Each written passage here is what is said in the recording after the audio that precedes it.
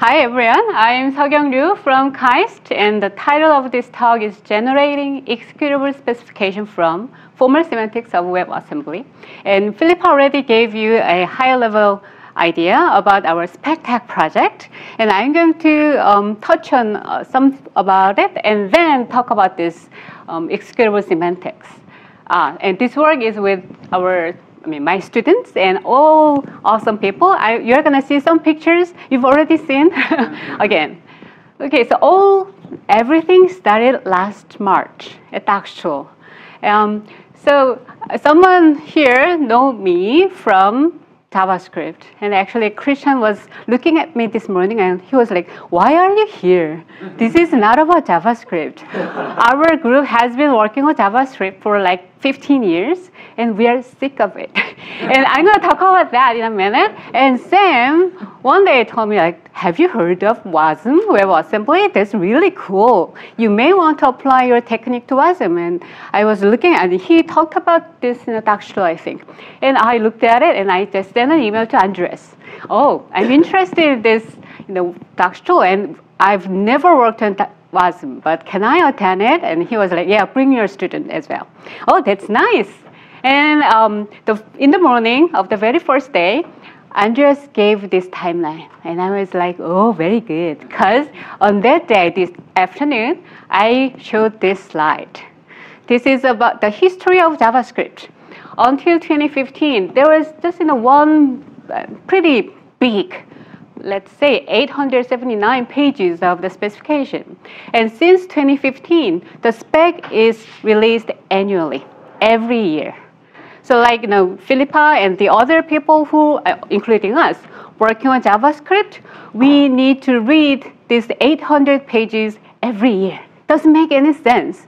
So we were um, uh, yeah, and this is the third Thursday of the Dagstuhl. Yeah, and Conrad was taking a picture, so he's not here. but you can see Andreas, Philippa, Mattia, Pierre, Joachim, Luke, who gave the first talk today, and my student Dongjun, and Sam. So we discussed this idea, and when I gave the presentation of this, um, Andreas started writing DSL, yeah, DSL for WASM.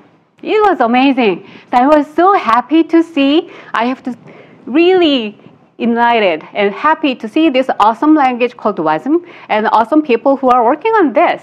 So we were happy. And Andreas gave this keynote last year in September at ICFP. The title was as low level as possible, but no lower. And he showed this picture, right? Everyone in the previous picture with two more students of mine. And we've it's okay. I mean, and we've been happy with applying this.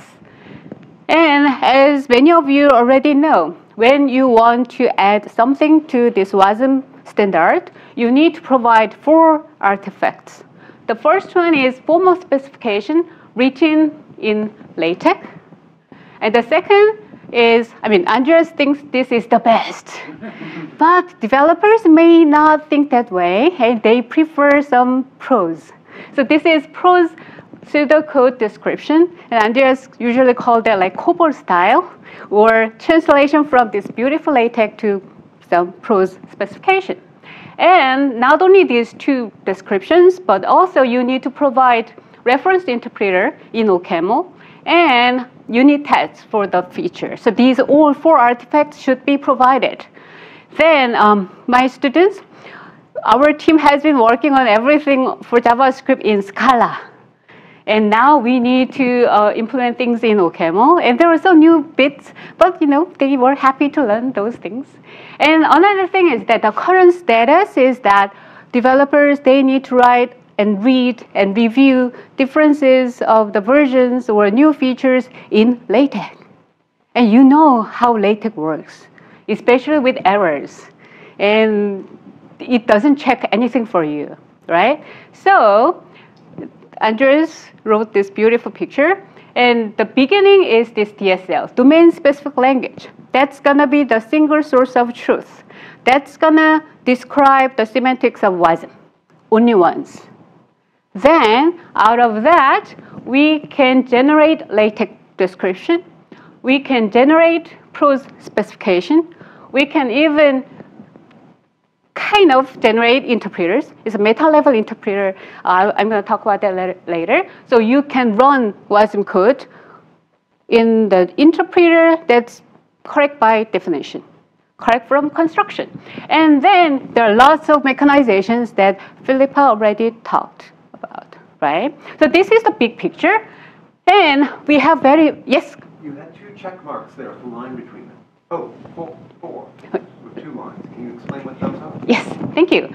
So usually when you say uh, semantics in prose, then we check that whether our interpreters or whatever implementations or implementations correspond to whatever said in the spec, I mean, in the specification. So that's kind of the correspondence check.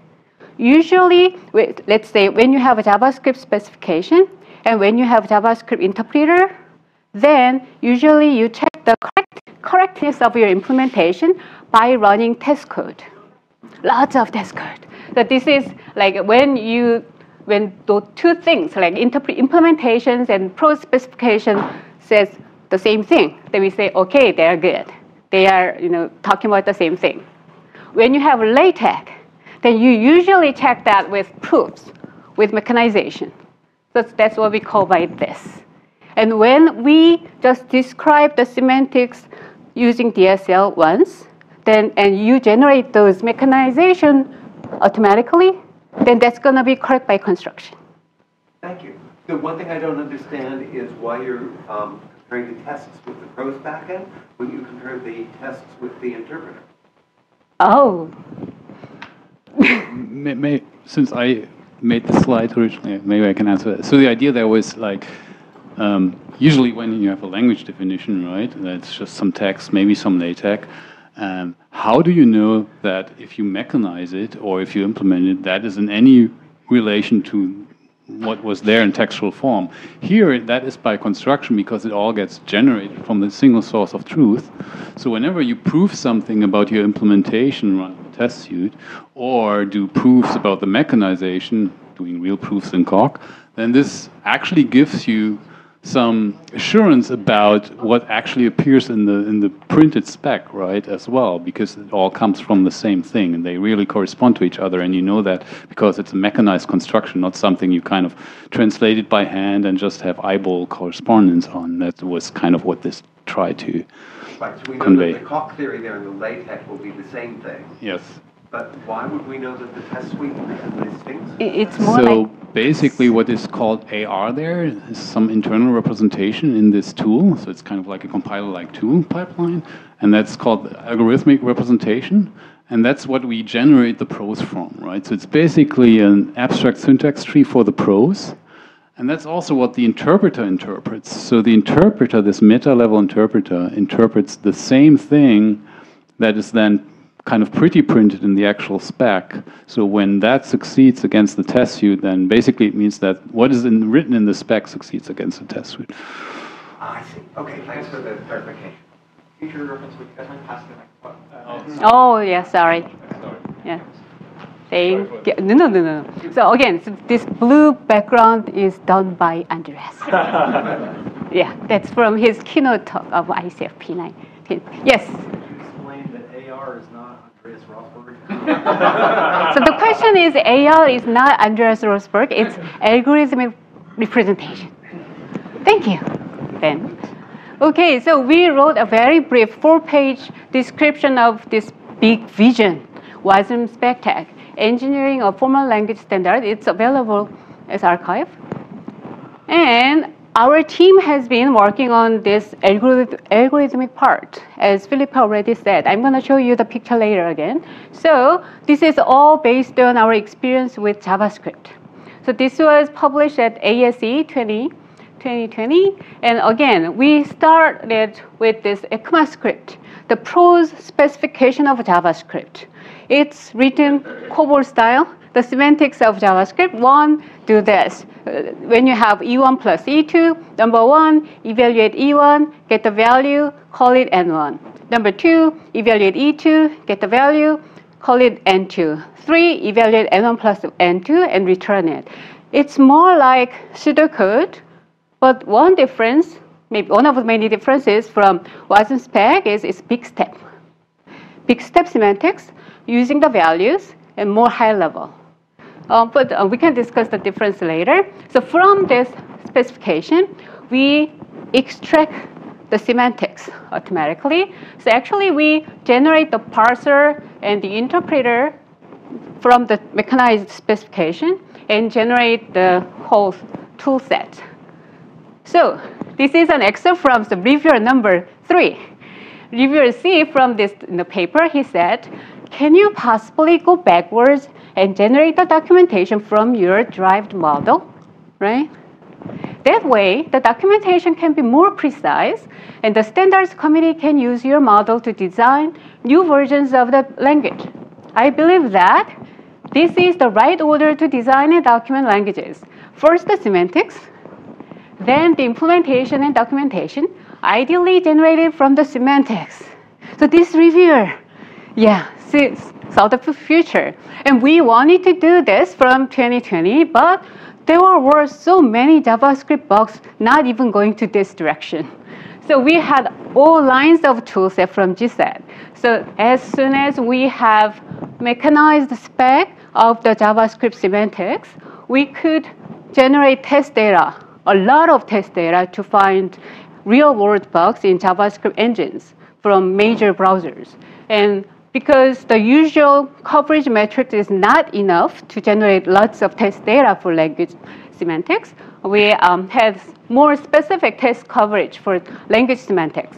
And we also generated static analyzer from the spec and what's the and type analysis of the specification and things like that. So we've been happy with this JavaScript work and even our work has been officially integrated into TC39. So now every feature, feature of JavaScript is now running our tool, the spec checking and test generation. So that's all good. But the thing is, as Philippa said before, students graduate, right? The main student, Jihyeok Park, is now an assistant professor at Korea University. And now that he's an um, independent researcher running a team we were like, okay, you can take a, the JavaScript work. And anyway, we are, we are you know, sick of JavaScript and we are looking for a new target. And then again, Sam introduced WASM to us and we moved to WebAssembly. And now JavaScript is with team. Then WASM semantics in the specification. As you know, it also has formal semantics and prose specification. Again, um, this one is binary operator again. Then let's look at it. Number one, assertion. WASM has validation, static semantics, unlike JavaScript. Number two, pop the value from the stack. And we were like, my students were like, what is stack? pop Number three, pop the value from the stack and do this binary operation. If that's defined, then do this, otherwise trap. What? So it wasn't was really different from JavaScript. So we had to understand this semantics, and the formal specification is the usual Greek letters, right? So okay, we are happy with this. So let's compare this JavaScript and um, WASM. As Philippa said it's the inverse order.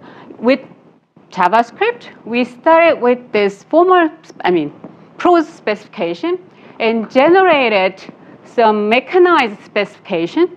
And as Andreas explained really well, the semantics is represented in some DSL. For JavaScript, we call that IR, Intermediate Representation for ECMAScript, IRES.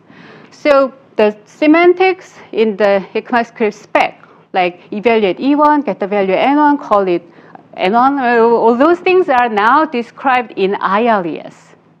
And when we interpret the semantics, that's going to be an interpreter. So when we get the JavaScript program and that the interpreter, the meta level interpreter is automatically generated from, I mean, we generate, we wrote the interpreter of the IL, then that's going to be an interpreter for JavaScript, right? Then um, we also generate parser automatically. So those things are all automatically generated. We get the result. But with WASM, that's the other way around.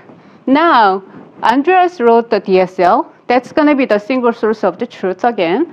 And the WASM semantics is going to be written in DSL. And so with this WASM 1.0 and 2.0 and now 3.0, so Andreas rewrote the semantics previously written in LaTeX to DSL, right? Then we generate, we can generate a parser as well, but we didn't. Why, why should we do? Because it's already there in the reference OCaml interpreter. So we reuse that. But we generate this AL interpreter. We extract the semantics from DSL to our algorithmic representation. That's going to be DSL2 algorithmic representation compilation. I'm going to talk about that in a minute. Then we have this AL interpreter, and that's going to be the whole thing about algorithmic part.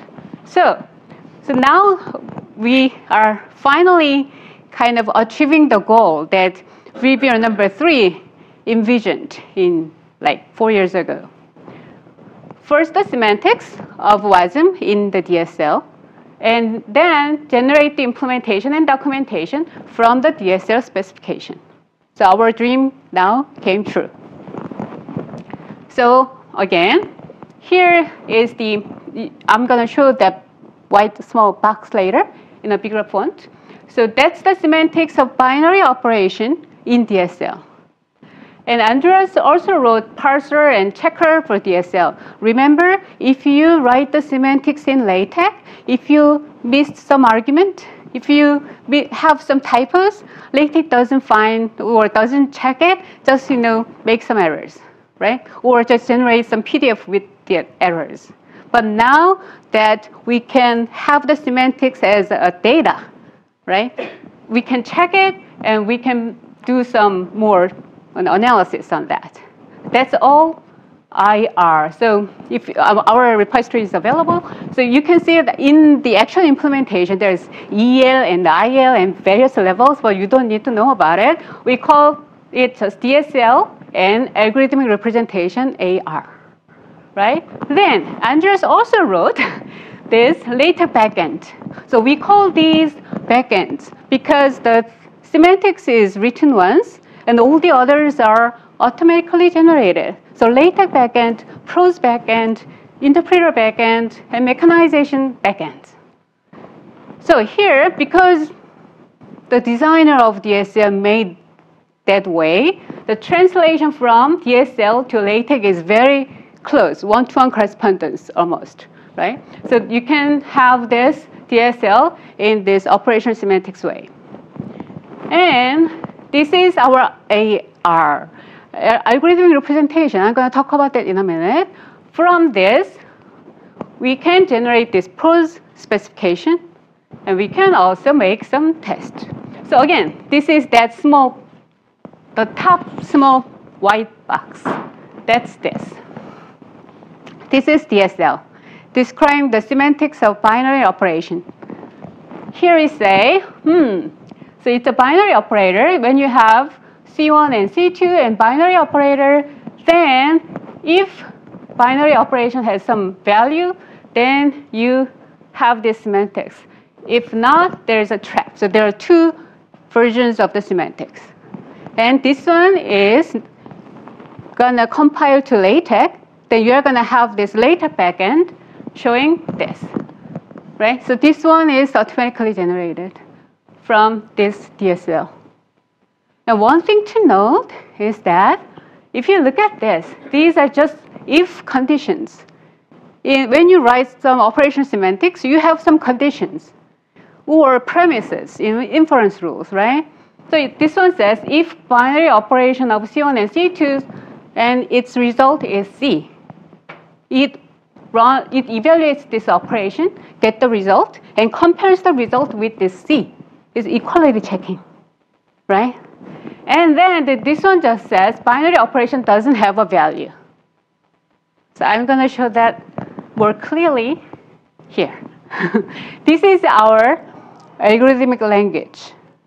This is just the same with these four lines in more complex to humanize, but simpler to the interpreter or spec generator it says, hey, I'm, this is the semantics of binary operator and assert pop, assert pop. Now you can see why we made this way.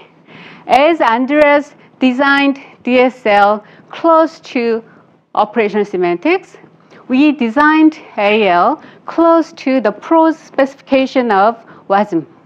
So this is different from IRES because with ECMAScript, again, there are big step semantics, they're more high level, they use lots of auxiliary functions. If, if you ever looked at JavaScript semantics, just one simple evaluation of an expression requires like 10 auxiliary function calls, right? But WASM is different. So we had to, you know, say, you know, design this AL nicely capturing the way of WASM spec style, but at the same time, we should be able to generate interpreter and prose specification.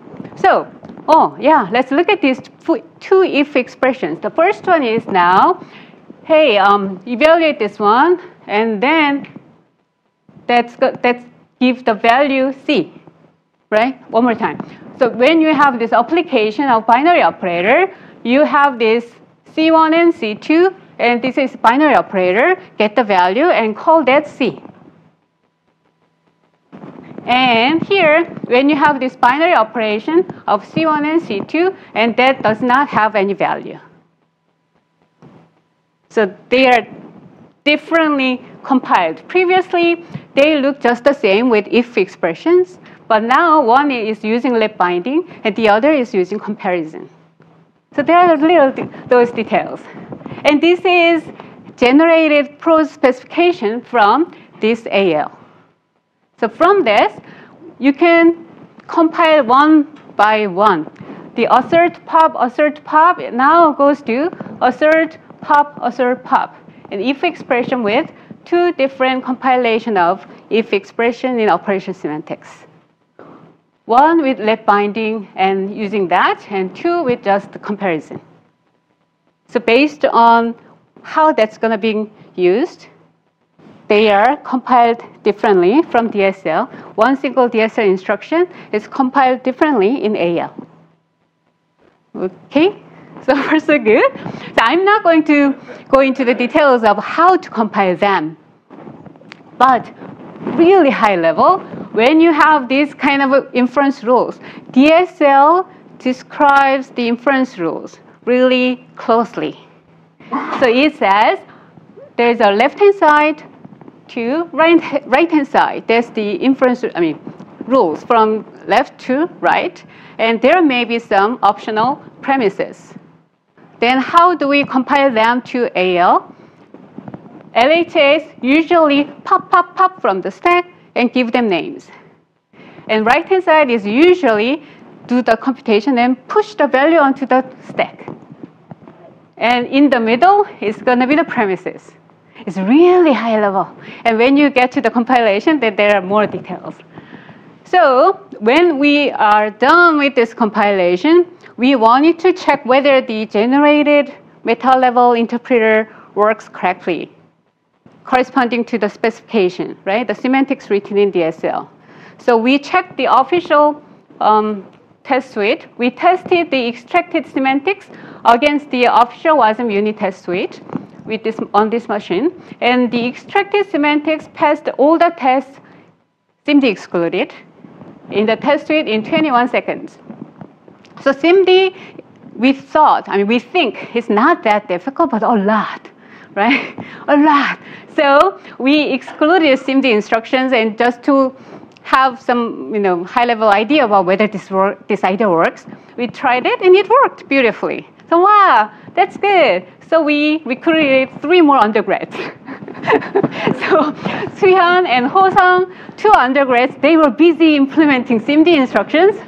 And as you know, it all started last March, less than a year then you can see the code is not going to be pretty, right? And you may know that Andreas has high, high criteria for code quality, I think. So um, when he does some code review, my students are like, and very grateful.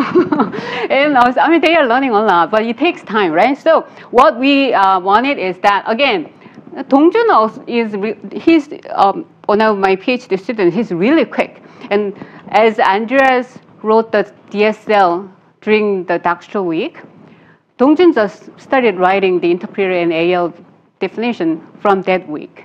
But his code is quick and dirty. so um, he, Hyunhee, uh, the third undergrad, she's now joining us for code reviewing and refactoring. She's impressive. Um, one minute for you know something really different. She studied drawing when she was a high school student, and she wanted to do something cool using arts. And she realized that um, art school doesn't teach her how to make that more scalable. So she started to go to a college in the second year of high school, and she studied hard. And KAIST is one of the best school in Korea, but she entered KAIST even without, I mean, with less than two years of studying. And she studied industrial design at KAIST, and she quickly realized that um, computer uh, skill is needed. And she studied computer science in the third of, uh, year of her undergrad. And she went to an intern, and she realized that code quality of the real world developers is really low. so um, without any guidance, she looked up clean, clean code textbook and she read it while she was an intern. So when I heard the story, you should work with us. so now Hyunhee just joined and she's cleaning up the code of Dongjun uh, Wonho and Jaehyun. I am so happy. So they are working hard. And now the current status is that they are done with writing the semantics of SIMD instructions, syntax, validation, and execution, everything. So that's all done. And they are reporting minor, minor spec errors and getting some approval. And they also automatically generated LaTeX and prose specifications for SIMD. And with the official WASM unit test, um, 86% passes. The remaining 14% um, percent may due to um, their our way of describing the semantics. We may need to change the DSL, but I don't think so. We, will see. And um, IL to AL translation and interpreter, um, as you can see, whenever we have some decision making, we looked at the current WASM specification and its way of describing the semantics and just followed it. But maybe that's not the best way to describe the semantics. That's a way that we chose, I mean, not we, WASM people chose in the beginning. So that's the thing that we are currently working on. And when we worked on this methodology, like in a SpecTec, the nice picture, why SpecTec? Um, there are many language frameworks like K and PLT-Redex, OTT, and many others, right? So we did not want to, you know, invent a new. And we looked at K, and there were two repositories, one, one, one repository for WASM semantics in K, and two repositories for WASM semantics in PLT Redex. And all of them didn't really work. I mean, they were incomplete. And we um, have some discussion with internal people in K and PLT Redex and realized that they are not well suited for this, uh, this style of semantics. I mean, K and PLT Redex, they have their own pros and cons. And SpecTec also has its own pros and cons. So it's not like one is the best and the other is wrong. It's more like they have different application domains, I think. So K and PLT Redex, they are rewriting engines, and they do not have algorithmic way of describing the semantics. They may, yeah, they don't, just don't, they don't. And um, our SpecTec, we want to have this prose specification with algorithmic, you know, stepwise semantics. That's one thing. And now that we have this mechanized specification, we can generate test data. Wow. When we gave this presentation at WASM um, CG meeting, uh, developers came to us like, when can we run your code, uh, run your tool so that we can test our implementation? We have these you know, errors that we wanted to catch earlier. And most of them were about SIMD. So at that time, you were like, oh, sorry, SIMD excluded. and now we have SIMD, like one, 14% left, but I, am pretty sure it's going to be done by the end of January. So then we can finally help them work on that. So back to this JavaScript word, because again, um, not the others. Mechanization, that's all Philippa and Stem and Conrad and other smart people. We are about this algorithmic part because we've been working on JavaScript in that way. So now that we have this kind of thing, we have WASM DSL designed by the king of WASM, and we can just trust that. If not, we can blame him. That's not us. And based on that single source of truth, now we can generate all these tools. So the first target is test generation, just like we did with JavaScript. So uh, then, and the technical detail about Jest is what? From this mechanized specification in WASM, that's going to be the WASM semantics in DSL, we can generate WASM programs, right? And not like randomly. We can we know the syntax, we know the structure, we know the semantics, and we know which part of the semantics is well tested by the official test suite. We know weak points. We have everything, right? So that's going to be the usual thing. We can generate programs from seed, and we can inject assertions because we know the semantics. And then we can have some mutator of the programs that's going to be guided by coverage metrics. Then we can find some errors in existing implementations. So that's West. So Jest is JavaScript engines and specification tester. West is WASM test generation. So this is what uh, we are working on right now. Dongjun is working on this. Now the undergrads are work, cleaning up his code. so we built a WASM fuzzer framework. And for WASM 1.0 to 3.0, we can generate this .wast uh, WASM test files automatically from the semantics written in DSL. And now for 2.0, we check that generated WASM modules are all valid. So in the beginning, only 0.1% was valid. so we had to add more stuff to filter out invalid modules, but now it's pretty high. And we can generate 10,000 tests in several minutes. And we found two minor bugs in some implementations already. And um, we measured the spec coverage of these 10,000 tests. It covered 100% excluding memory.copy and table copy. Um, there are some issues I think in our implementation, don't worry.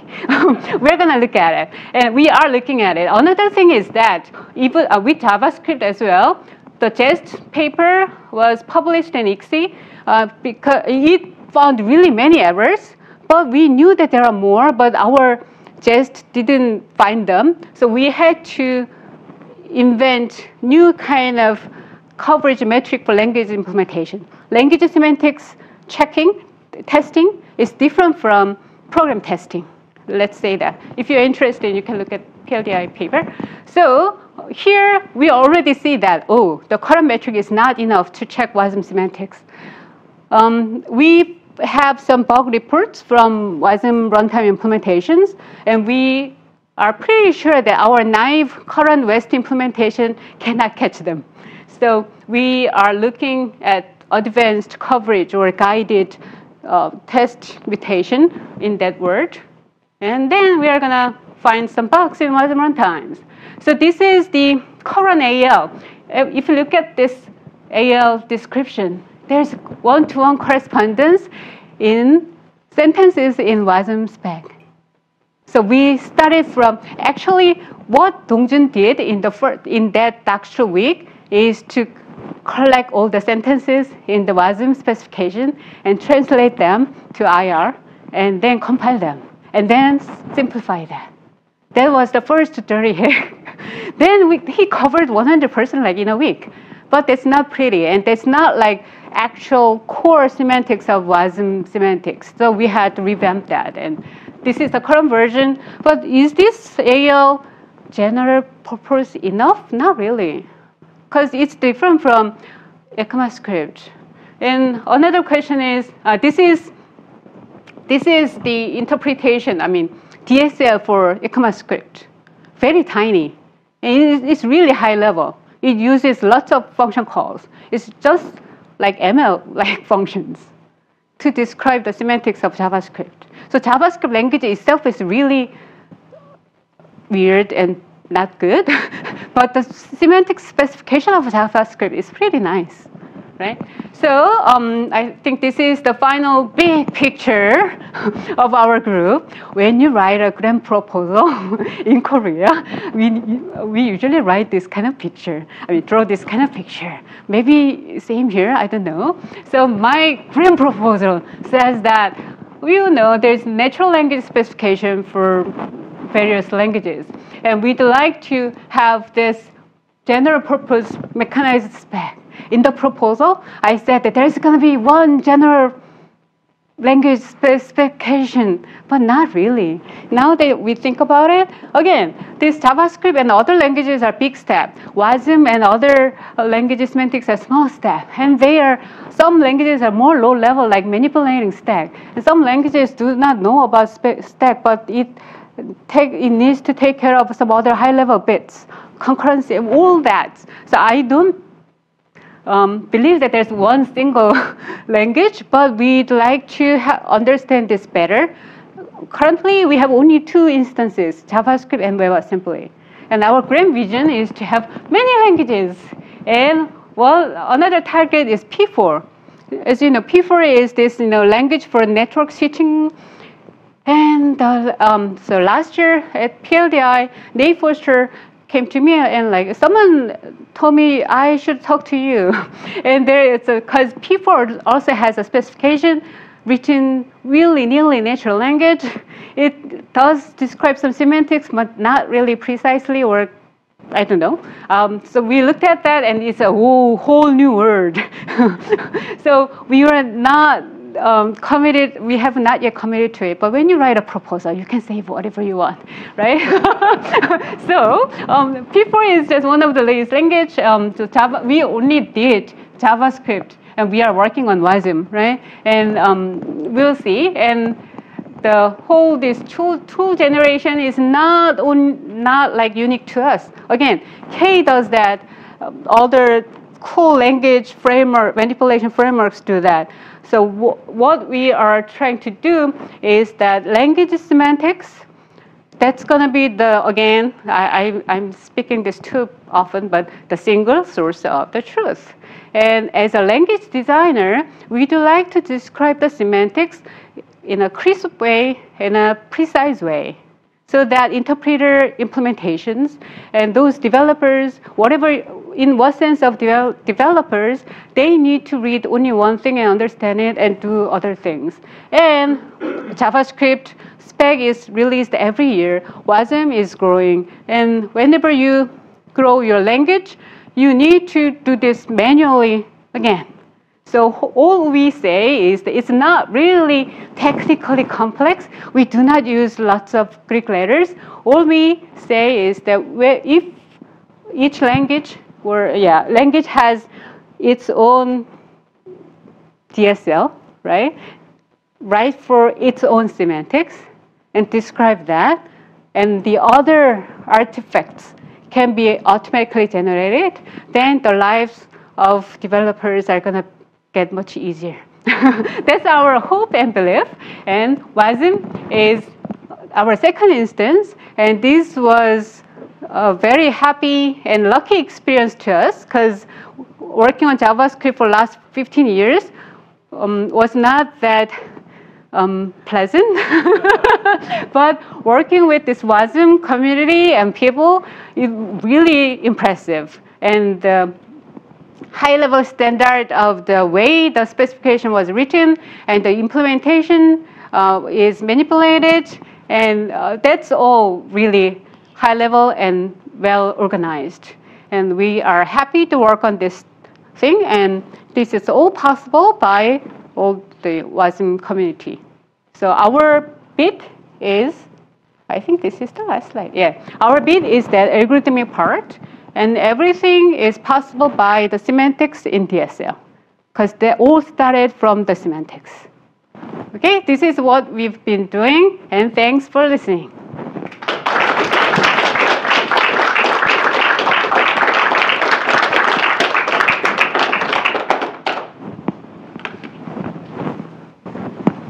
So there's lots of great work on generating interpreters, talking about how to generate interpreters. So the step beyond that, how are we going to think about generating compilers? we cannot generate type checkers yet. And, and actually, uh, after, after this talk, um, John, John Hughes, after, not this talk, after Andreas' keynote talk at ICFP, there were so many people asking questions to Andreas. And um, during the talk, Andreas was, was like, oh, Sukyoung's team is working on this implementation, Sukyoung, how much percent? And I said, 100%. and um, after that, his talk, everyone was asking the questions to him. And John came to me and asked, like, can you generate type checker? and I was like, no. we are only, I mean, the spec implementation, the uh, interpreter is really nicely specified in prose, and we were just compiling that to AL. And type, type semantics is also written in prose, but in a very different way. Well, yeah. Yeah, so the, the operational semantics, the prose of the operational semantics, kind of like algorithmic, like, like like you showed. It's this step this, step this, this step this. The typing rules, the prose of that is really declarative. It's just like a bullet list of constraints. That doesn't give you immediately an algorithm, right? Um, for WASM 1.0, it's probably wouldn't probably be too hard to derive an algorithm from that, but at least with WASM, like what we have now, we have subtyping right? So you have transitivity and all that, and it's a well-known problem that generating an algorithmic formulation of subtyping from a declarative one is not trivial, and you usually have to prove cut elimination and all that. So automating that is currently way out of scope. So what we do, though, is we generate the prose for the validation as well for the type checking, but there is no execution of that, right? We don't have any interpreter for that. Um, so that's kind of, if you want, that's a bit of a missing piece there. Likewise, I think what we don't do yet, but could do, I guess, is generating the the parser. Yeah, parser is yeah, it's, that should be doable. Yeah. Hello. Uh, I, don't, I don't know much about uh, WASM, but just I was thinking about two sort of related approaches. I mean, in in the um, instruction set architecture area and, and, processor definition area, sort of Adam Chlipala had a sort of similar um, plan about six or seven years ago. Um, so it might be worth talking talking to him about that. And I was also thinking, in, sort of for, for, for specifying execution models and, and properties about that. Thirty years ago, there were these approaches of particular SOS um, formats. Um, GSOS, generalized SOS, probably Philippa, you know much more about that. Um, but I was wondering whether this DSL uh, format at the very top sort of has relationships to that, or whether that such structuring would help you sort of to derive additional reasoning principles. DSL. well, so one thing I should perhaps explain is that the DSL itself really it, it's very general in some way, right? It, it really gives you only a way to define um, syntax or data type, if you want, an inductive type, and re and relations. And then reduction relation is just one particular form of that we use for that. The typing relation would be another one. So on the DSL level itself, on the SpecTec DSL level, you don't really have a notion of reduction at all, or or SOS. Um, but then the later phases, in particular, the that's where the animation comes in, and um, that backend makes a lot of assumptions about how to interpret these relations. Um, mm. And that is kind of like what we get out of this approach, right? So, I mean, the other question you, you, you could ask is why don't we use something like Ott, which also is this form of DSL, which you can generate stuff from? Well, this is like doing our own thing allows us to specialize the hell out of it, right? We can just cut corners wherever we want. We just need to be able to handle the cases we care about. And that means, especially in the back end, it doesn't have to really be able to handle the general case. And I mean, you showed the A, uh, AL abstract syntax, right? That's totally specialized to what we use. Was. Um, right, and which is not in the in the front end actually. So hmm. there there's at some stage in the pipeline we make assumptions about the structure of things and mm-hmm. don't bother dealing with other things. So two things to add is that one is the, to really understand the current status of the DSL and everything, we need to actually write that in other forms. So one of my students tried to re- rewrite the semantics in DSL in K and in PLT Redex.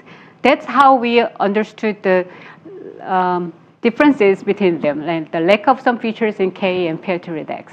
And now he's defining the semantics of P4 written in Coq and Isabelle in DSL so that we can try to see whether DSL is enough to describe the even lower level of the semantics. And another thing is that um, Lucy and Amal and Luke and Andreas are working with this component model, and Lucy now has the formal specification of the semantics of component model. And one of my students is trying to describe that semantics in DSL again. Then now we are like giving hard time to DSL. And it's designed to be general purpose and really high level. And we, we believe that's going to be doable, but we will see how far it can go. I mean, yeah, the DSL is this, in a way general, but also in, in terms of its feature set, it's just about what we need, right? It, Exactly. It doesn't hardwire any of WASM specifics, but in terms of the feature set chosen, it's just what we need for WASM. Mm-hmm. Um, in particular, right now, there is no such thing as binders in the abstract syntax because WASM right now doesn't need it. So any language kind of semantics that has to do with binders will be a challenge, which is the case for the component model.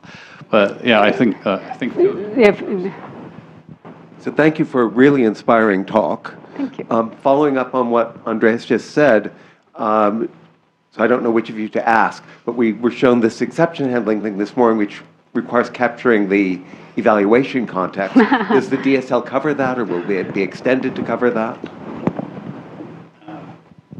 That's an excellent question. So that's one of the things we still keep discussing, like what to do about evaluation context. So right now, without without um, continuations, we can get away with just having like this bubbling up semantics for for branches, which are just breaks, and also exceptions and return, which are the th- three things. But with continuations, you can also formulate it that way, but it's kind of very tedious. You have to incrementally construct the the evaluation context that represents your continuation. So basically, that, that's an open question right now how we want to deal with that. And it might be that we want to build in special support for evaluation context, or we just say, like, okay, we just do this more um, cumbersome thing and be happy with that. I don't know.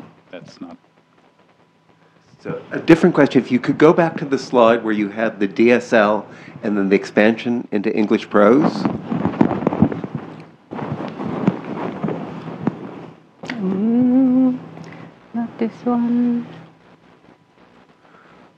Here? Right, so there's the expansion into Pro. So that, that will now be part of the spec, right? Yes. The, the generated spec. And then can you go back to the DSL that generates that? Um, Conrad, I'm not familiar with that Windows. Let's just turn it back into presentation. Thank you. And, And, ooh. that's somewhere there. Here? Is that, this is AL, algorithm representation. Right, but you don't write the AL, right? The AL is, Ah, DSL, That's sorry. Right. DSL. right, so that's so much more compact than the prose or the, um, so this is sort of a question about pragmatics. It seems like if I wanted to review the thing, I'd be much better off reviewing that than the generated prose. Is, is, is the expectation that eventually nobody's going to read the prose? Or why is the prose there when this is so much oh, better? Oh, so we have. I mean, I can say a lot about that, but maybe Thomas wants to say. yeah, he first. Hi, I'm a software engineer. I work with a bunch of software engineers. They only want to read the prose. Exactly. They don't want to look at this. I believe that, I understand that, but why? Uh, it's got a big horizontal line and it's got some squiggly arrows and like, what is that? You know? Could we do something that they read that's this compact? Compact Maybe, doesn't but mean they're also the happy best. reading the prose. So Andreas wants to have only this version, and usually developers do not want to look at it and have only prose version. Everyone is different. And I think I can say concretely, very confidently, WASM would never have got industry support if we didn't promise to write the prose. So there's a pragmatic thing of needing to give the people what they want, even if they're wrong. No, I wrong. understand this is huge pragmatic thing. I was just going to say, so yeah, I'm also a software engineer, and there's way more of us than there are people who speak this language. I tried my hand at teaching students this kind of thing with, with Jonathan co-teaching, and yeah, being able to speak the language in which the thing is written, which is, would be English in the generated prose, is very handy. So people can actually they can read it and, and, and they can step through it. It's only when they get to the level of maturity where they understand the beautiful notation will this make sense to them, but they don't initially. Uh, so I'm just going back to an earlier discussion. Uh, the thing about um, having an, a generalized uh, specification like Ott, uh, I, I, I always make this point in this, these venues. Um, we're not the only ones who's, who have observed that, that actually specializing is pragmatically, well, essential at the moment.